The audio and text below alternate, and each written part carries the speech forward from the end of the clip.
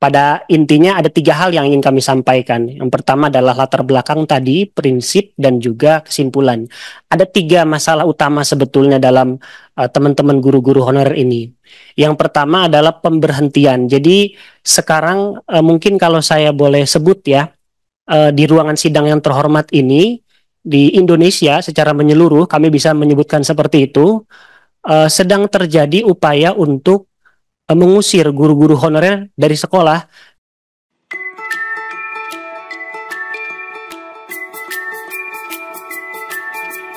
dari forum guru apa nih? Perhimpunan Pendidikan dan Guru Pak P2G. P2G ya. Pak Satriawan nggak datang? Pak Satriawan sedang oh, iya. ada yang biasa ikut. Paman saya juga podcast. Lanjut. Oke baik. Assalamualaikum warahmatullahi wabarakatuh. Hmm. Terima kasih uh, pimpinan sidang Kang Ferry. Kita sudah sering ketemu di beberapa podcast dan YouTube. Terima kasih kepada yang terhormat uh, Bapak Ibu Dewan di Komisi 10 yang sudah hadir, menyempatkan hadir dan memberikan kami kesempatan untuk berbicara di sini. Uh, perkenalkan diri, saya Iman Janatul Hairi, Kepala Bidang Advokasi Guru dari Perhimpunan Pendidikan dan Guru. Di sini juga telah hadir dari uh, eh, P2G di DKI Jakarta, Kang Ikna, ada P2G di Kabupaten Garut, Kang Rida, dan beserta jajaran pengurusnya. Kami dari P2G, uh, eh, untuk PowerPoint-nya maaf bisa ditampilkan. Oke, baik, terima kasih. Baik, uh, saya lanjut bahwa P2G adalah organisasi profesi guru, uh, kami berbadan hukum, dan memang Next slide. Uh, pada hari ini langsung saja uh, kami di sini hadir lima orang. Next slide. Tetapi kemudian uh, kami membawa data kurang lebih 466 kasus guru-guru honorer, beberapa di antaranya di Jawa Barat, Kuningan, Garut dan sekitarnya. Ini adalah guru yang terbukti kami membawa datanya. Ini ternyata guru honorernya tergeser dengan kedatangan guru P3K atau P1. Hmm, itu masalahnya. Nah, uh, di antara para guru tersebut juga ada yang sudah mengajar sejak tahun 2005. Pada intinya ada tiga hal yang ingin kami sampaikan. Yang pertama adalah latar belakang tadi, prinsip dan juga kesimpulan. Ada tiga masalah utama sebetulnya dalam uh, teman-teman guru-guru honorer ini. Yang pertama adalah pemberhentian. Jadi sekarang uh, mungkin kalau saya boleh sebut ya, uh, di ruangan sidang yang terhormat ini di Indonesia secara menyeluruh kami bisa menyebutkan seperti itu. Uh, sedang terjadi upaya untuk mengusir guru-guru honorer dari sekolah dengan cara-cara halus. Mungkin tidak ada suratnya, tetapi melalui broadcast, verbal, non-verbal, jamnya dikurangi, dan lain sebagainya. Jadi ini fenomena yang menurut kami adalah fenomena nasional dan harus dideklarasikan di forum ini tanggal 4 Juli 2024 saya Iman Janatul Hairi menyatakan bahwa sedang terjadi pengusiran guru-guru honorer di sekolah-sekolah negeri terutama. Yang kedua, seleksi P3K ini menurut kami kesimpulan kami dari beberapa tahun kami mengikuti uh, isu ini bahwa setiap kebijakan pendidikan, terutama kebijakan seleksi P3K, itu memeta konflikkan antar guru. Seperti teman-teman kami di sebelah di sini, ada forum guru honor dengan banyak nama dan singkatan mungkin Kang Ferry lebih hafal, karena sudah berkali-kali beberapa forum datang ke sini, itu adalah hasil kebijakan seleksi P3K yang tidak adil. Ketika tidak adil, timbul korban, bikin forum lagi, dan ke sini lagi, dan begitu seterusnya. Jadi saya kira ini bukan hanya sebuah masalah, tapi ini adalah sebuah masalah yang sangat sistemik dan terus berulang. Jadi kami kira kita harus punya solusi yang agak ekstrim untuk menghentikan ini gitu. Itu yang kedua. Jadi ini masalah akan berkelanjutan. Yang ketiga soal kesejahteraan uh, meskipun kami kemudian di sini hadir untuk menyuarakan teman-teman guru honorer, tetapi kemudian juga dalam seleksi ini kami menilai ada biaya-biaya yang dikeluarkan oleh guru, baik guru honorer, baik guru P1 ataupun P2 bagi guru-guru yang menunggu seleksi ini dari tahun 2021, 2022 dan 2023 tidak ada yang bertanggung jawab Bagaimana hidup mereka mempertahankan dirinya? Karena nanti kami juga akan melampirkan survei dari IDES, Dompet Duafa, dompet duafa aja sampai ikut campur ya, alhamdulillah luar biasa untuk melakukan survei terhadap ribuan guru yang ternyata salah satunya guru-guru honorer termasuk guru-guru P3 P1 itu itu juga harus bekerja serabutan, menjadi ojol, menjadi penceramah sholat Jumat kadang-kadang ya lumayan amplopnya. Kadang menjadi penulis, saya juga penulis sebetulnya. Kita berusaha keras untuk mempertahankan hidup. Jadi bisa dibayangkan tidak bagaimana untuk jalan ke sekolah saja itu tidak ada gitu untuk untuk sekedar tenaga makan gitu ya. Jadi ini isu yang sangat harus diselesaikan. Uh, next slide. Makanya kemudian uh, kerugian guru ini yang pertama karena menunggu dan yang kedua sudah saya sebutkan tadi dan ini juga biaya dari kehilangan jam yang secara perlahan guru-guru tersebut harus jadi bukan karena dia hobi dengan bimbel pekerjaan lain bukan karena ini satu-satunya cara untuk bertahan hidup karena sangat tidak layak sekali situasinya. Next slide. Ini adalah survei IDS yang dilakukan oleh uh, lembaga dompet duafa. Bagaimana ini adalah data-data yang sangat nyata bahwa para guru tersebut berhutang kepada guru, menggadaikan SK, ya honorer nggak punya SK, apa yang digadaikan gitu, meminjam ke teman, handphonenya digadai sampai dua kali dan lain seterusnya. Jadi ini kondisi yang sangat tidak memartabatkan. Nanti mungkin uh, akan saya tunjukkan slide uh, uh, tahun ini Sekjen PBB itu uh, mengadakan panel tingkat tinggi yang menyatakan bahwa guru itu harus dimartabatkan dan harus dimanusiakan. Jadi kami kira kondisi guru honorer termasuk juga guru-guru yang sedang menunggu di P1 ini juga sama-sama tidak bermartabat. Next slide. Nah, secara teknis ini mungkin kami ulas ya selama tiga tahun terakhir. Ada empat hal sebetulnya yang menjadi persoalan teknis kita. Yang pertama analis jabatan. Nanti akan didetailkan oleh uh, teman-teman dari P2G yang lain. Tetapi intinya data kita itu kusut. Pemerintah daerah dan pemerintah uh, pusat, Panselnas dan lain sebagainya ini sangat kusut. Analisis jabatan dari tingkat sekolah, dapodik, dinas pendidikan sampai pemerintah itu tidak ada yang benar-benar sinkron. Kami sebetulnya ya uh, berpikir positif ketika kita punya menteri yang di bidang teknologi teknologi informasi artinya sangat hafal tentang data. Tapi ternyata lima tahun ini terbukti bahwa data kita malah makin kusut. Ada guru-guru yang mengajar bukan bidangnya uh, termasuk juga kaus guru agama. Uh, ada guru matematik SMK ngajar matematik Kemudian ada kedatangan guru P3K, jam matematiknya berkurang setengahnya, datang lagi guru matematika P3K berkurang lagi sampai 0 jam. Kemudian sekolah mungkin karena uh, kasihan diberikan jam pelajaran agama, akhirnya ngajar pelajaran agama, digajar pelajaran agama datang lagi P3K agamanya jadinya kosong. Situasi hari ini guru-guru honorer itu disebut hidup tidak hidup, disebut mati masih hidup, dan statusnya tidak jelas di sekolah. Dia makhluk apa itu nggak tahu Apakah dia datang ke sekolah itu sebagai apa? Dia juga nggak jelas. Dan ini kegentingan bagi teman-teman guru uh, termasuk seperti disampaikan oleh teman-teman GPI tadi bahwa kita mengalami kecemasan yang luar biasa. Kebetulan di Jawa Barat juga ada penelitian yang dilakukan oleh Steering Komite Jabar Masagi di Dik Jabar.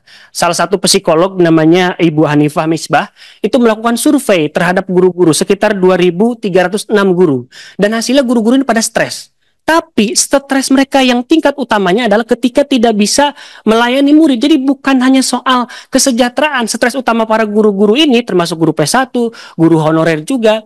Ini ternyata ketika tidak bisa melayani, misalkan apa? Mengajar bukan bidangnya. Dan guru matematika yang terpaksa mengajar agama dan sekarang juga tidak tahu jamnya kosong. Ini contohnya di sebelah saya Kang Rida, ngajar di SMK di Jawa Barat. Emang bisa ngajar agama? Bayangkan gitu ya, bagaimana kualitas agama rakyat Indonesia kalau begini caranya. Maaf ya Kang Rida ya bukan saya ini tapi kan tidak uh, kompetensinya belum tentu juga gitu kan. Yang ketiga adalah relokasi. Jadi proses pengusiran guru-guru honor dari sekolah ini menggunakan relokasi dan redistribusi. Gitu seolah-olah ada yang dipindahkan padahal jamnya berkurang. Jadi kami ulangi lagi kita harus mendeklarasikan hari ini ini terjadi pengusiran besar-besaran PHK besar-besaran secara massal tetapi diklasterkan di tiap-tiap daerah dan tiap-tiap sekolah akhirnya para guru honorer hanya mendapatkan uh, apa tekanan-tekanan secara verbal. Dan yang ketiga adalah jaminan regulasi sama dengan teman-teman GPI bahwa kita juga ingin ada jaminan jangan sampai guru-guru honorer ini di PHK gitu ya. Selanjutnya next slide. Uh, kami juga berkomunikasi dengan Dirjen GTK Prof. Nunuk yang mengatakan bahwa di dalam uh, apa namanya uh, Permendikbud ya nomor 349 ini sudah ditentukan bahwa guru honorer tidak akan tergeser oleh eh, guru-guru P3K atau P1. Tetapi kenyataannya Tidak seperti itu. Ada 466 kasus yang berhasil kami kumpulkan. Padahal itu bukan tugas kita ya mengumpulkan seperti itu. Lanjut. Yang pertama, uh, misalkan uh, data di Jawa Barat ini ya, uh, bahkan kemudian 800 guru bukan hanya 466, jamnya ternolkan. Jadi saya kira ini sangat-sangat miris sekali. Yang kedua, pergeseran tadi sudah kami sebutkan. Yang ketiga, itu adalah soal kebutuhan tidak sesuai dengan kuota, 10% juga tidak kebutuhannya 11.000 sekian, tetapi yang di kuota yang dikeluarkan hanya 1.500. Lalu juga afirmasi sertifikasi pendidik, mohon maaf, kita semua sebetulnya seluruh guru di Indonesia itu berhak, apalagi Undang-Undang Guru Indonesia sudah lewat 10 tahun ya, jadi sudah ada pelanggaran terhadap undang-undang sebetulnya. Ketika ada guru yang belum tersertifikasi, 1,6 juta, yang tadi disebutkan juga termasuk.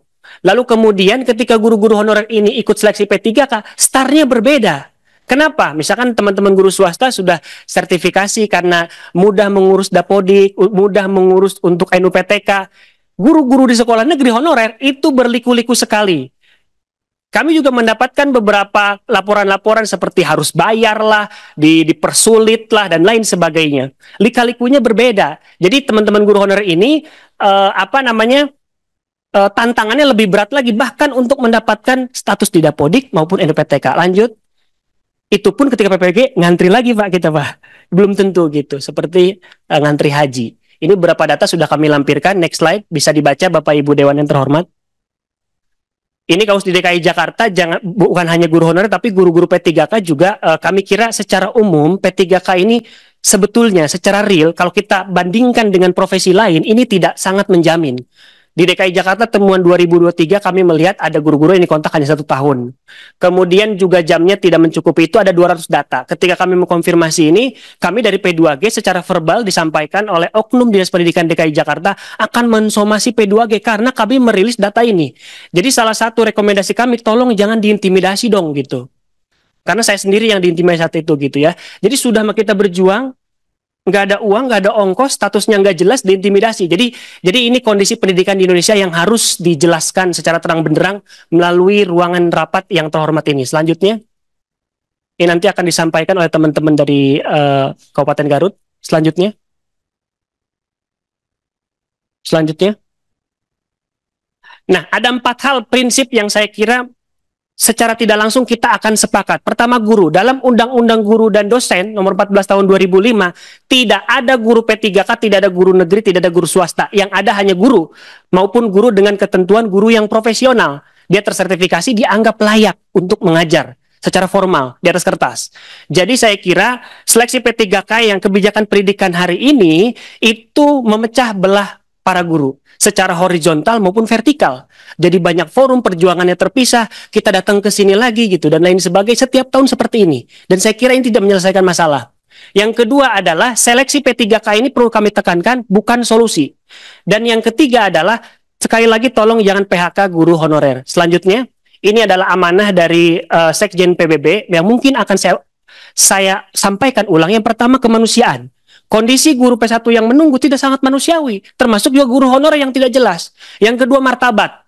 Jadi kita diingatkan kalau pemerintah Indonesia eksekutif ini tidak punya visi tentang tujuan pendidikan nasional, ini ada visi pendidikan secara internasional dari PBB. Yang ketiga keadilan, keberagaman dan inklusif. Berdasarkan fakta-fakta yang tadi, saya kira tidak memenuhi unsur ini. Keempat kualitas, bagaimana mungkin kita bisa berkualitas kalau kesejahteraan juga tidak terpenuhi. Inovasi dan kepemimpinan, ini juga menjadi konsentrasi kami, pelatihan guru kepemimpinan, guru penggerak, tetapi PPG saja tidak selesai, kuotanya jauh lebih kecil daripada guru penggerak. Jadi kami bingung, ada kepemimpinan tapi satu sisi tidak profesional. Yang keempat, yang terakhir adalah keberlanjutan dan kami kira yang harus menjadi keberlanjutan adalah tujuan pendidikan nasional, bukan keberlanjutan program menterinya. Saya kira itu. Selanjutnya, ini beberapa curhatan teman-teman guru yang saat ini uh, apa ya disebut taraf hidupnya itu sudah sudah hutangnya itu udah ke mana-mana gitu kalau saya sebut gitu dan dan bantuan dari uh, Komisi 10 tentu saja ini akan sangat membantu. Next slide. Kesimpulan kami yang pertama adalah analis jabatan di Indonesia dalam seleksi P3K dan kebijakan pendidikan secara umum ini masih amburadul. Jadi ya maaf ya mungkin data nasional kita juga memang amburadul ya. Tetapi wabil khusus untuk pendidikan dan juga untuk mengurus guru ini tambah amburadul. Status kontrak intimidasi kami harap uh, tidak dilanjutkan lagi kepada siapa pun pihak yang melakukan itu karena guru harus otonom guru itu mengajar muridnya dan ini adalah calon-calon anak di masa depan. Yang ketiga adalah termasuk juga kekusutan data menyebabkan guru honorer menjadi korban paling bawah dan yang terakhir adalah kebijakan terhadap guru yang berubah-ubah tersegmentasi vertikal maupun horizontal ini menyebabkan peta konflik guru dan saya kira ini sangat tidak baik untuk masa depan pendidikan dan guru kita. Selanjutnya rekomendasi dari kami Para guru honorer harus tetap mendapatkan jam ajarnya. Yang kedua, berikan kepastian dan kesempatan guru honorer untuk tetap mengikuti seleksi P3K yang berkeadilan, kata kuncinya. Yang ketiga, menghimbau kepada semua pihak, sekali lagi yang sampaikan, baik di tingkat pusat maupun daerah, untuk tidak melakukan intimidasi terhadap guru yang sedang memperjuangkan hak-haknya.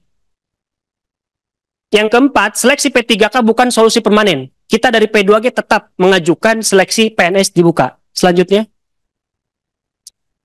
Ini ada usulan juga agar dihidupkan kembali skema DPK guru bantu jika memang uh, apa kuota untuk sekolah negeri tidak mencukupi. Itu usulan. Selanjutnya adalah meminta komitmen pemerintah pusat dan daerah untuk tidak memberhentikan para guru honorer. Yang selanjutnya adalah gagasan upah minimum guru non ASN karena ASN sudah ada undang-undangnya terus didorong agar menjadi solusi konkret. Di undang-undang uh, guru ASN sudah ada di pasal 14 bahwa guru itu layak mendapatkan uh, apa kebutuhan di atas minimum, di atas. Jadi kalau UMR-nya mungkin 2 juta 200, ya dia 2 juta 300 dan seterusnya gitu. Dan selanjutnya kami meminta agar seleksi P3K itu dituntaskan, jangan tersisa. Karena yang sisa ini jadi korban bikin forum lagi ke sini lagi dan itu tidak akan selesai. Akhirnya banyak rentetan korban gitu. Selanjutnya itu saja mungkin dilanjut uh, kepada Kang Rida. Terima kasih. Terima kasih. Assalamualaikum warahmatullahi wabarakatuh. Terima kasih Kang Iman Zainutul Hairi. Nih kalau yang biasa diskusi sama saya cepet-cepet kan tahu permainan saya cepet. Kami hadir sini Pak Iman terus ada Pak Ikna. Pak Rida dari Pak Ikna, Pak Rida. Ya, ya. Kemudian Ibu Dian. Baik, izin menyampaikan. Itu udah saya absen dulu. Oh iya boleh. Bu Dian enggak ada? Bapak. Oh Bapak, mohon maaf maaf. Nah. Habis Dian cuma pakai putra atau kalau putri langsung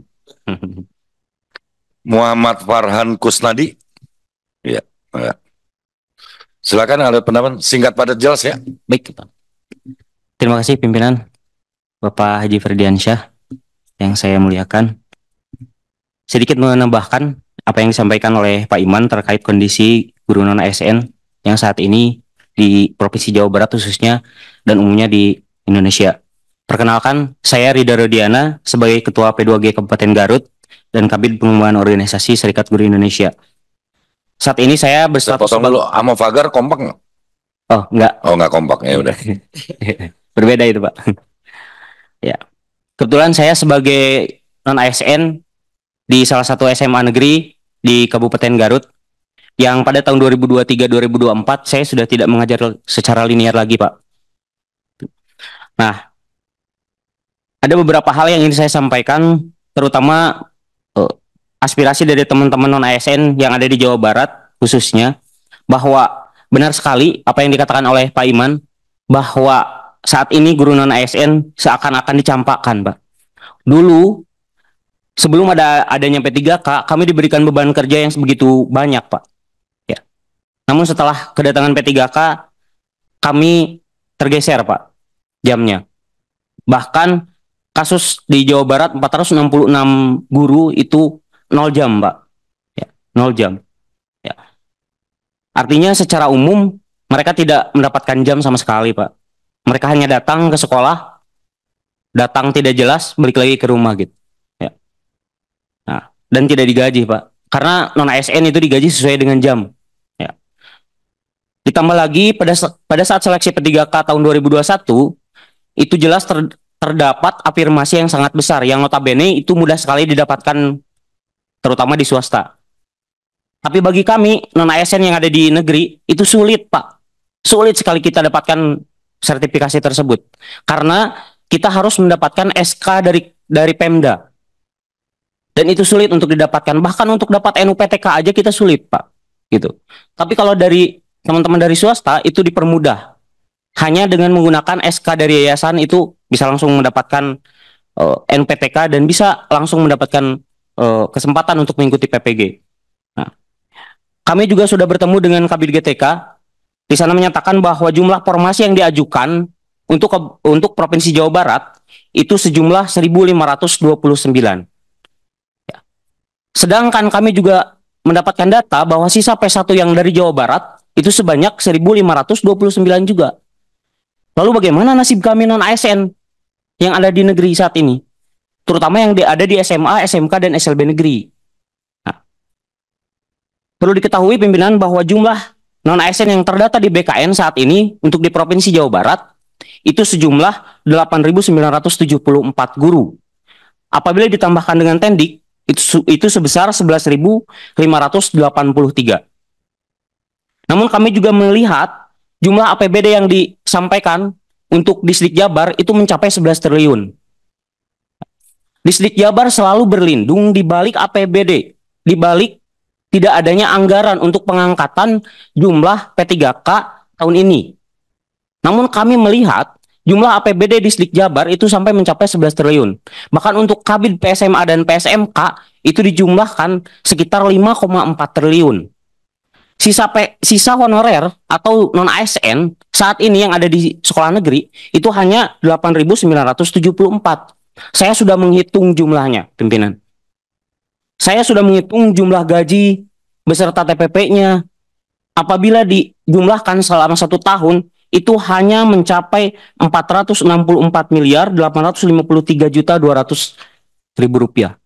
Apabila ditambah dengan tendik, itu mencapai 599 miliar 463 juta 200 ribu rupiah. Itu tidak sampai menyentuh 8,6 persen dari APBD yang diberikan untuk Kabid PSMA dan PSMK. Jadi kenapa Disdik Jabar selalu berlindung bahwa pengangkatan jumlah P3K saat ini, jumlah formasinya, itu karena tidak ada anggaran, padahal anggarannya sangat banyak. Pak. Jadi mohon sekali pimpinan untuk diperhatikan. Mohon sekali untuk diperhatikan. Ya. Kemudian selain itu pimpinan kemarin juga kami menonton tayangan di Komisi 10 itu akan ada moratorium formasi itu cukup mengiris hati kami Pak sebagai non ASN. Ya.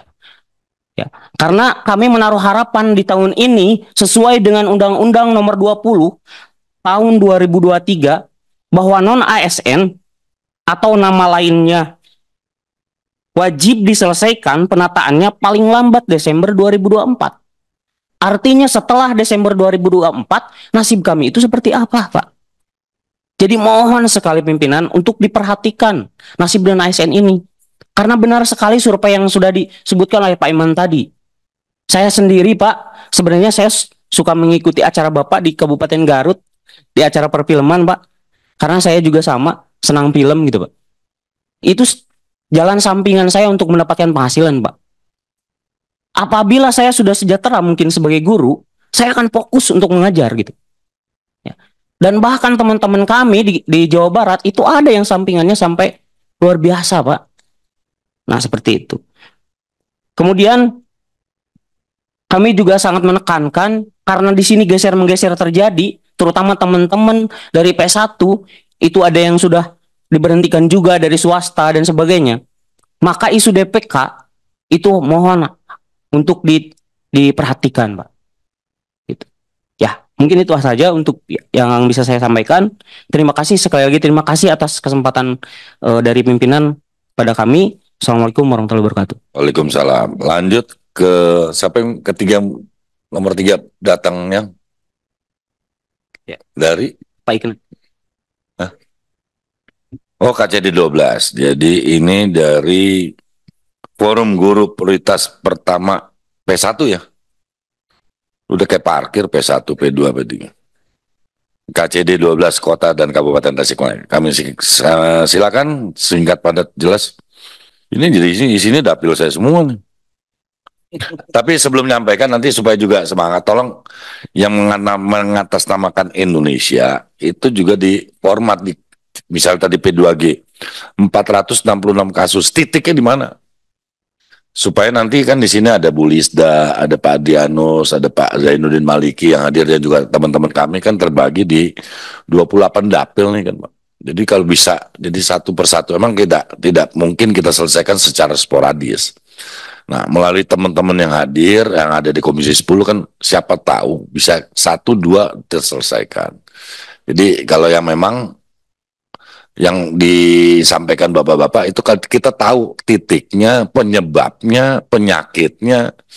Kan kita nggak kan seorang dokter juga harus tahu asal mula daripada riwayat hidup si penyakit kan gitu. Kalau itu akan lebih baik untuk mempermudah menangani pengobatan selanjutnya. Kira-kira gitu kalau bicara penyakit ini kan. Kami persilakan dari forum P1 KCD 12 Kota Tasikmalaya dan Kabupaten Tasikmalaya. Singkat padat jelas. Silakan yang menyampaikan Pak Opa. Pak Opa, siapa lagi yang hadir? Eh, Ibu Lena Pak, Bu Bu Ratnasari mana? ada Pak. Ada. Ibu Lena hadir. Silvi hadir. Sudarmono. Kalau Jawa Barat Sudarmana dong. ya, bagus. Lanjut.